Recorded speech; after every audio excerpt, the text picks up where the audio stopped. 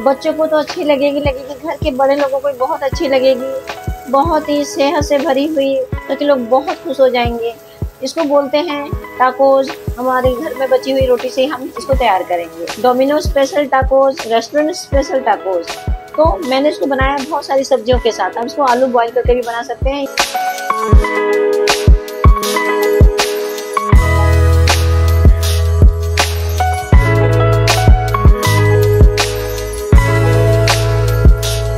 शिमला मिर्च लिया है। आपके पास जो भी शिमला हो इस्तेमाल कर सकते हैं। सब्जियों इसमें अपने हिसाब से आप ले सकते हैं। तो पीली शिमला को मैंने ना मोटा काटा, ना पतला काटा है, मीडियम सब्ज़ियाँ काटी हैं। यहाँ मैंने एक बड़ा प्याज ले लिया, उसको कट कर लिया। और छोटे पीसेस में कट किया है मैंने। शिमला को हमने ना मोटा, ना पतला, मीडियम में कट किया है। और बना ली है एक मज़ेदार सी चटनी। एकदम मुँह में पानी आ जाए। और गैस ऑन करके रख दिया है। कढ़ाई इसमें डाल दिया। एक बड़ा चम्मच और कुछ सामान डालने के लिए लिया है मिर्ची तीन से चार, लहसुन चार से पाँच कर लिया एक इंच अदरक, आधा कप दोस्तों मैंने दो तरह की शिमला ली है, आधा कप कॉर्न लिया है और लिया है दोस्तों एक बड़ा प्याज। इन सबको मैंने मीडियम कट किया है, कुछ मसाले, कश्मीरी लाल मिर्च, आधा छोटा चम्मच, हल्दी पाउडर, आधा छोटा चम्मच, जीरा पाउडर, आधा छोटा चम्मच, चाट मसाला, एक चौथाई छोटा चम्मच है और धनिया पाउडर है। नमस्कार। मसाला बाय माला के चैनल में आप सभी का बहुत बहुत स्वागत है दोस्तों। आज की जो डिश है, बहुत ही मज़ेदार और इंटरेस्टिंग होने जा रही है। कहीं मत जाइए, जुड़े रहिए मेरे चैनल के साथ। और हाँ दोस्तों, जाते जाते लाइक शेयर सब्सक्राइब का बटन ज़रूर दबा के जाइए। नीचे बेल का निशान रहता है, उसे प्रेस करना बिल्कुल मत भूलिए। जुड़े रहिए मेरे चैनल के साथ। एक आधा छोटा चम्मच है। और तेल हमारा इधर गर्म हो गया, इसमें हम लहसुन छोटा छोटा कट कर लिया, वो डाल दिया मैंने। और डाल दिया है अदरक। हल्का सा इसको भून लेंगे, ज़्यादा नहीं भूनेंगे कच्चापन दूर हो जाए। मिर्ची डाल लेंगे दोस्तों तीन से चार मिर्ची है। इसको अपने हिसाब से कम ज़्यादा एडजस्ट कीजिए, जैसे बच्चे खाते हो। प्याज, बहुत बारीक नहीं काटा है। मीडियम सा मैंने प्याज कट किया लंबा प्याज भी कट करके डाल सकते हैं, भून लिया। मीडियम कटी हुई हमने यहाँ शिमला मिर्च चकोर वो भी डाल लेंगे। सब्जियों को बहुत नहीं कुक करना है, दोस्तों। ये हमें स्पेशल ध्यान रखना है। तो भून लेंगे। दो से तीन मिनट, ये कॉर्न मैंने हल्का सा बॉईल कर लिया था, एक बॉईल ले लिया था।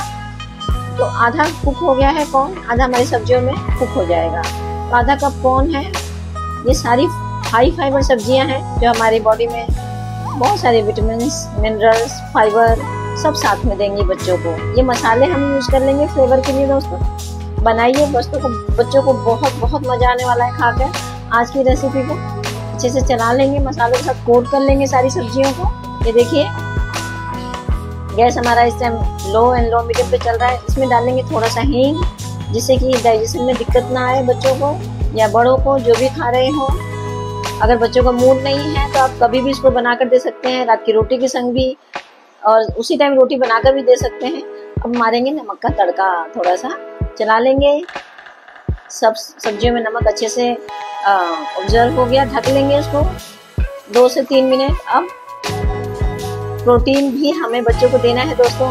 तो हम एक फुल फीलिंग एक कह लीजिए कि खाना दे रहे हैं तो इसमें मैंने इसलिए 200 ग्राम के करीब में मैंने यहाँ पे प्रोटीन के रूप में पनीर लिया है तो उसको मैंने कट कर लिया छोटा छोटा और इसमें मैं मिला लूँगी सब्जियों में। ये देखिए। तो अब हमारा हाई फाइबर के साथ साथ हाई प्रोटीन सब्ज़ी तैयार हो रही है। इसके साथ आपको कुछ नहीं चाहिए। रोटी आपकी तैयार है, रोटी के बीच में भरना है और अच्छे से और चीज़ें डालकर फिलिंग तैयार करके बच्चे को as a snacks dinner lunch किसी में खिलाइए। चलिए इधर हमारी सब्ज़ी हो गई रेडी पनीर के ऊपर भी मसाला सब कोट हो गया, उतार लिया मैंने ढक्कन रेडी ऑफ़ कर दी हमने गैस। ये मेरे दोपहर की रोटी बची हुई थी। तो मैं इसी से बच्चों के लिए डोमिनो स्पेशल टाकोस तैयार करने जा रही हूँ। मिक्स वेजिटेबल वाला। तो ये चटनी, मैंने चटनी तैयार कर ली थी फ्लेवरफुल चटनी है। पुदीना, हरा धनिया की, ये तो चटनी हमारे घर में अक्सर होती है, ना हो तो टमाटर की चटनी लगाइए, ना हो तो सॉस लगाइए। और मैंने दोनों रोटियों पर चटनी अच्छे से अप्लाई कर लिया है और यहाँ डाल दिया दोस्तों म्यूनिस म्यूनिस भी दोनों पर एक चम्मच अप्लाई कर लिया। सब्ज़ी रख ली इसमें, और ऊपर से डाल दिया मैंने चीज़। और डाल लेंगे कच्चा प्याज थोड़ा सा धनिया भी डाल सकते हैं। हॉट चिली सॉस भी डाल देंगे। जो आपके पास सॉसेस हो आप इस्तेमाल कर सकते हैं। ग्रीन सॉस भी इस्तेमाल कर सकते हैं। ये आपके टेस्ट के ऊपर डिपेंड है। जो बच्चे आराम से फ्लेवरफुल होके खा सकें तो ये सारी चीज़ें डाल के मैंने दो रोटी के रैप्स टाकोस तैयार किए हैं। चलिए इसको और फ्लेवर देने के लिए फुल डोमिनो जैसा बनाने के लिए मैंने गैस ऑन करके रख दिया है। पैन पैन में डाल दिया बटर एक बड़ा चम्मच। अब रोटी को फोल्ड करके सेक लेंगे, दोनों तरफ़ से उलट पुलट कर। ये देखिए, आप, ये तो मेरी बची हुई रोटी, अगर आप उसी टाइम रोटी बना रहे तो हल्का सा कच्चा बनाइए। जिससे कि रोटी बहुत ज़्यादा क्रिस्प नहीं होगी। नहीं तो आप इस तरह भी बनाकर दे सकते हैं। देखिए, हल्का सा ये ज़्यादा वो हो गई है गोल्डन पर हम मेरे, मुझे ये वाला टेस्ट बहुत अच्छा लगता है। तो मैं अपने बेटे को बना के दे एक बार मैंने और भी इसको खिलाया था तो उसको बहुत पसंद आया था। तो आप भी इस रेसिपी को ट्राई कर सकते हैं। मुझे कमेंट कर सकते हैं कि रेसिपी कैसे लगी, कहाँ से रेसिपी और मेरी वीडियो देख रहे हैं प्लीज़ प्लीज़ ज़रूर बताइए। मुझे पढ़ के बहुत खुशी होती है।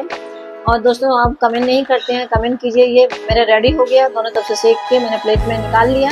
इसी तरह से और भी रोटी के मैं तैयार कर लूँगी। तो रेडी हो गया फुल हेल्थ से भरा हुआ, स्वास्थ्य से भरा हुआ, mix vegetable high protein rack tacos जो डोमिनोज स्पेशल है रेस्टोरेंट स्पेशल है, पूरे परिवार को खिलाइए, खुद भी खाइए और आके अच्छे अच्छे कमेंट मसाला बाई माला के चैनल पर कीजिए दोस्तों। फिर मिलती हूँ नेक्स्ट वीडियो में, तब तक के लिए सभी का बहुत बहुत धन्यवाद फुल वीडियो देखने के लिए। नमस्कार।